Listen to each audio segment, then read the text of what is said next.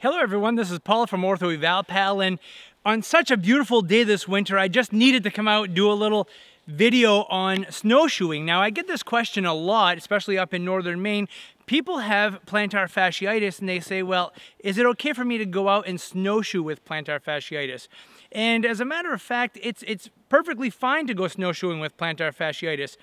The reason people develop plantar fasciitis is because they have pain on the bottom of the foot and oftentimes because of tightness in the calf muscle in the back of the leg.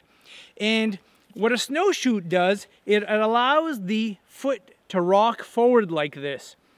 And therefore there is not as much strain to the bottom of the foot and you can tolerate snowshoeing much better than walking on a hard surface, especially with a solid soled shoe. So it can actually take a little bit of pressure off of your plantar fascia. So when the snow is out like this and it's a beautiful day, put your snowshoes on, throw your boots on, get outside and enjoy yourself, even if you do have plantar fasciitis. Thanks.